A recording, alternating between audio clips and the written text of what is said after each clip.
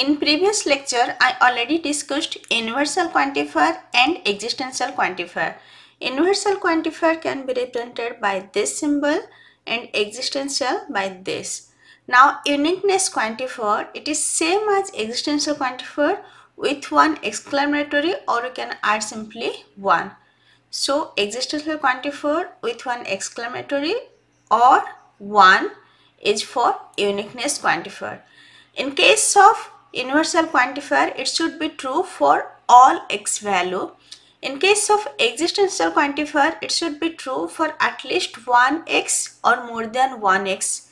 And in case of uniqueness quantifier, it should true for exactly one x value. So the notation uniqueness quantifier x px or there exists one xpx state that there exists a unique x such that px is true. So for single x value px is true. There is a unique x for which it is true. But in case of existential for one x or more x it is true.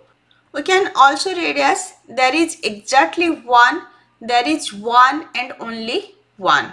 Let's see one example. There exists one x such that x minus 1 equals to 0 where the domain is the set of real number. So it states that there is a unique real number x such that x minus 1 is 0. Yes, for x value equals to 1, 1 minus 1 is 0. So this is true. So there exists a unique x such that x minus 1 is 0. So for there exists unique x x minus 1 equals to 0 is true. Even if it will be there exist x x minus 1 equals to 0 this is also true. There exist symbol means at least one x or more than one x. So for one x value it is true means there exist x also true or there exist one x also true. Both are true. But for all x this is false for all x, x minus 1 equals to 0. This is false. So for all x means it should true for all value of x. Only for x equals to 1 it is true. For x equals to 2 it is false. Or for x any other value it is false. So universal quantifier is false whereas existential quantifier and uniqueness quantifier it is true. Next is quantifier with restricted domain. Let's see some example. For all x less than 0, x square greater than 0. Then for all y not equals to 0, yq not equals to 0. Then there exists a z greater than 0, z square equals to 2. Let's see one by one. First one, for all x less than 0, x square greater than 0. This is true for all x less than 0 means it's negative and negative square is positive. It's same as there exists x, x value less than 0 implies x square is greater than 0. Next second one, for all y not equals to 0, yq not equals to 0. So when y value is 0, then its cube is 0. So the cube of every non-zero real number is non-zero. We can write as for all y, y equals to 0 implies yq equals to 0. So when y value is 0, yq is 0 and when y value not equals to 0, yq not equals to 0. Next, there exists z greater than 0, z square equals to 2. When z value will be root 2, then z square equals to 2. Just mark this symbol, its existential quantifier Existential quantifier means there should be at least one z for which it is true.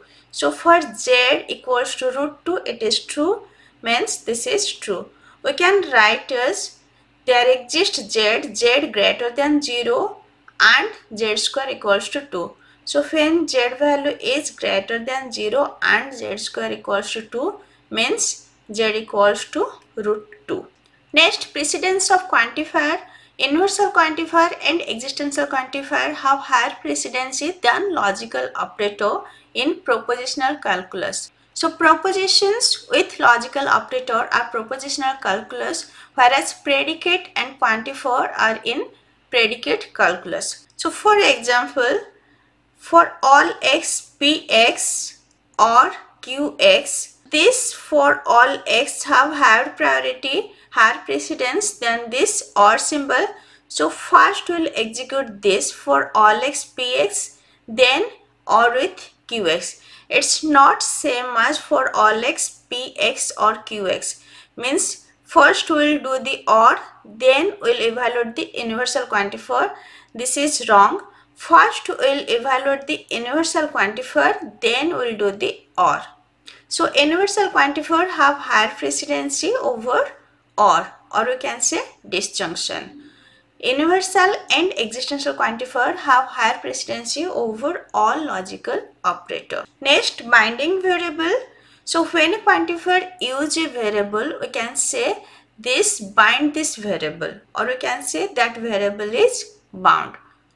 An occurrence of a variable that is not bound by the quantifier is called as free. And the part of the logical expression to which quantifier is applied is called the scope of the quantifier and to which it is not applied is not in scope. So a variable is free if it is outside the scope of a quantifier in the formula that specify the variable. Let's see one example. There exists x, x plus y equals to 1. So there exists x. That's why this x is bound and y is free. y is not bound by the quantifier and no value is assigned for this variable. So you can say y is free. Let's see another statement there exist x, px and qx or for all x, rx. So this there exist x, its scope is up to px and qx not for rx and this for all x scope is up to rx. So here px, qx, rx all are bound. Next logical equivalence involving quantifier I already discussed some logical equivalence in previous topic that is propositional equivalence. Here also you can find logical equivalence involving quantifier. So statement involving predicate and quantifier are logical equivalent if and only if they have the same truth value. No matter which predicate, which quantifier, what is the domain, if they have same truth value then they are logical equivalent. So we can write by using this symbol three lines or we also use this two line and this. So both are used for logical equivalence so for example for all x px and qx that is equivalent to for all x px and for all x qx so this universal quantifier is for both Px and Qx. So we can add universal quantifier with each predicates. Like for all x is for Px, also for Qx. So this is also applied for OR symbol. Even existential quantifier is also applied for AND and OR symbol. In today's lecture I discussed uniqueness quantifier, quantifier with restriction, precedence of quantifier, then binding, then logical equivalence involving quantifier. In next lecture, I will discuss how we can use negation in quantifier. If today's lecture is helpful for you, please like, share and subscribe. Thank you.